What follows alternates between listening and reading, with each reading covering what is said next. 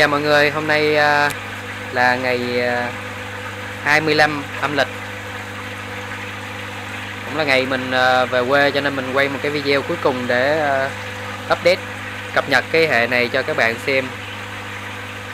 À, Hiện tại thì mình đang trồng các loại xà lách.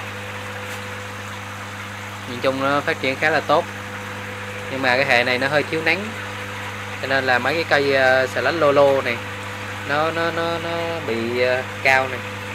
Còn cái cây xà lách này này. Xà lách này tên nước ngoài.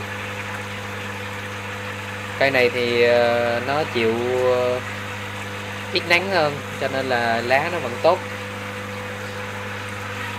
Loại này nữa loại này nó cũng hơi thiếu nắng này. Lá nó hơi cao. Lô lô là thiếu nắng uh, nhìn rõ nhất. Cái vàng này thì mình lên uh, mình mình đưa lên vàng khoảng ờ, uh, 25 ngày. Không biết là qua Tết uh, mình vào thì nó có già mất không? Qua Tết mình vào uh, thu hoạch mình ăn luôn các bạn. Giờ mình cứ đợi đấy cho nó chạy.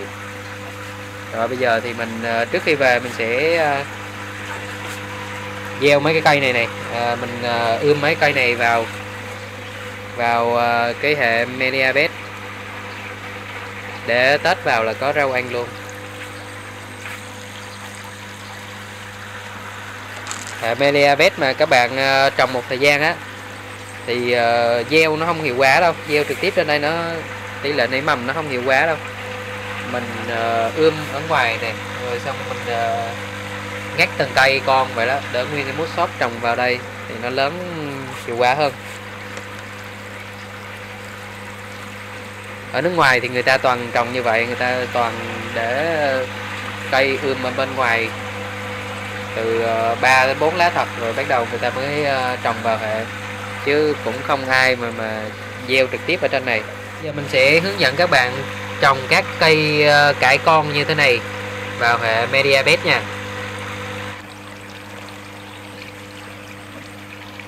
Đây mình sẽ trồng uh, hai hàng như này.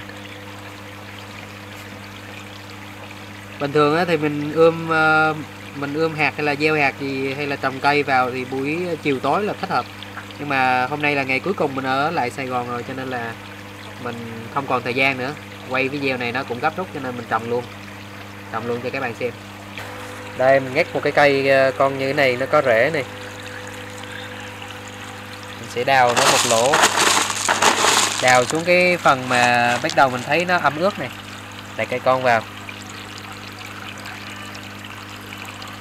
Để đảm bảo rễ nó tiếp xúc với cái phần ấm, chứ không thôi nó bị chết cây. Cây này thì cũng chưa đủ tiêu chuẩn để trồng vào đâu, nó phải lớn hơn xíu. Mà thôi kệ, nó thời gian cập rập cho nên là mình ờ, trồng luôn. Đó, khá đơn giản vậy thôi.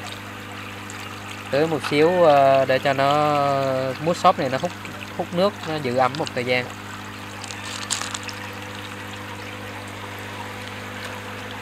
Rồi tương tự với cây này. Mình à, trồng như thế này mình đảm bảo được cái khoảng cách các cái cây. Trồng cách nhau khoảng một gang tay là tốt nhất nha mọi người. À, mồi lên ở dưới này có mấy cái con à, vi sinh vật này. Mấy cái con à, sinh vật gì trắng trắng này. Mình không biết tên con gì nhưng mà nó rất là tốt. Nó phân hủy phân cá thành chất dinh dưỡng cái cây á.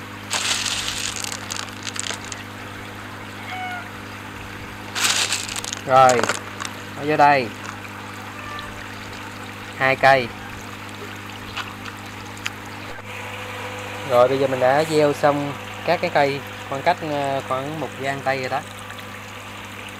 Hy vọng là nó sẽ ờ, sống ờ, hết, không có bị chết cây nào hết.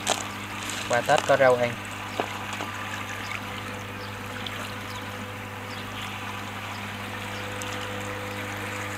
Đây có cây cà chua mới trồng. Cà chua trồng trong aquaponics cũng ờ, rất là tốt nha mọi người.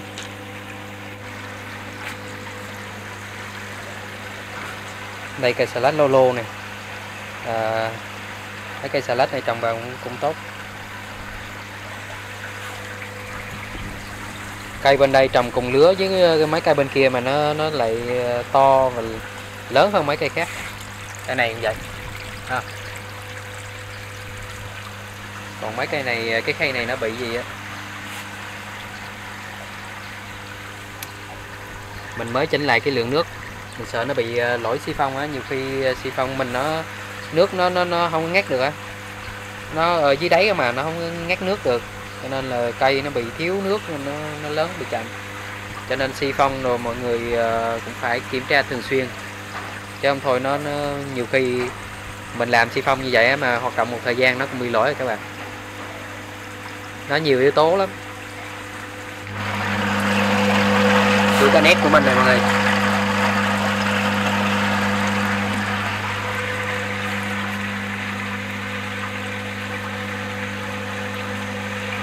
Chạy chạy chạy chạy chạy về cái máy ươm máy ươm hơi dơ nhưng mà hoạt động rất là tốt. Đây thu nước chạy về hồ cá này